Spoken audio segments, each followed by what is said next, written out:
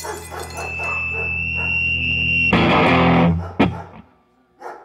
name is Jesse Geller, and I am born in Philadelphia, but I live in San Francisco.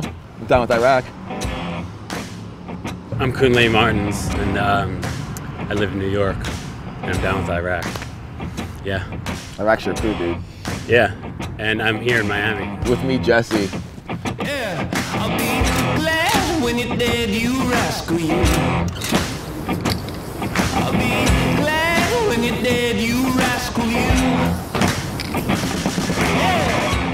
Painting a building for my good friend Tony Goldman. Graffiti writers are at a point where they've learned to become alluring to more sophisticated people. The tag is the buttery essence of graffiti because Because if you don't know how to tag, you're worthless. I mean, I'm sorry for the people that don't know how to tag. kindergarten, elementary school, they teach you how to write your name first. That's the first thing that they do. It's a fundamental of life, learning how to write your name and not having a chicken scratch signature. For me, murals and shit are dumb and pieces are stupid, but tags are great. It's like jerking off on cocaine. I, I know you graffiti writers know about that. Cocaine and jerking off. You want to make it look pretty and in a way for the public to digest it. The last thing that they want to have to learn is like, you know, graffiti language. Making the whole building covered in a repeating color pattern. And that way they notice the same tag over and over again and they notice like, you know, the pattern of letters. It literally is a tagging mosaic. Be oh so glad when you're dead, you rascal, you. I'll be so glad when you're dead, you rascal, you. I'll be standing on a corner full of gin when they bring your dead body in. I'll be glad when you're dead, you rascal, you. Graffiti, it just happens. I don't have to think about it. Maybe if I'm like, okay, hey, let's go out to dinner, I won't write graffiti while I'm at dinner, you know, but like I will be walking to dinner and I'll catch tags. It's like there's no in between with me. People aren't like, oh, he's kind of cool. They're like, he's dope. I'm down with him. Or he's a fucking piece of shit. Hey, dude. Come in. Like, get this little piece of fuck out of here. Putting on uh, some sunblock. Makes me look younger. I steal every day of my life.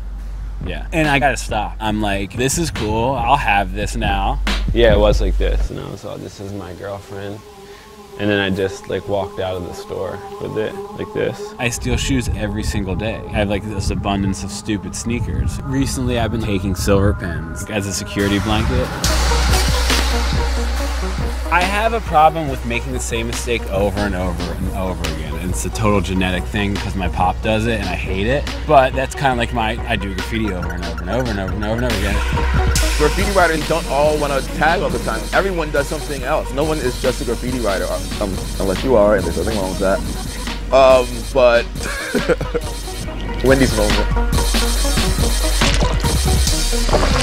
I wrote graffiti for graffiti's sake. I hung out with people that I respected, and then some of those people didn't respect me back. I started to, you know, do more with the graffiti or just have more purpose with what I was doing. Pocket shirt, that's pretty swag. I gravitated toward people interested in learning more about history and life.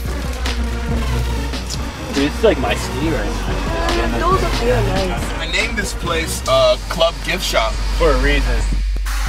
It has nothing to do with wanting to be an artist or anything. It's just, you know, how you see yourself and like what you're doing. Damn, yo, why is it doing that? If you respect it, others will respect it also. I'm happy that people are celebrating shit. You know, it's always interesting when people celebrate. And there's like uh, people from all over the world, and they're all different. It's been a long evolution, this is the point that it's come to.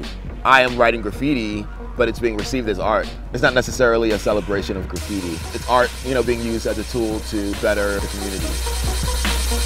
For us, this, like this is dope. This is the best that this neighborhood is offering right now. You know, for us. I understand if people feel differently. You know, They can do what they do. This is what I do. deal with it. Sorry, man. I'm heavy right now. Wendy's moment.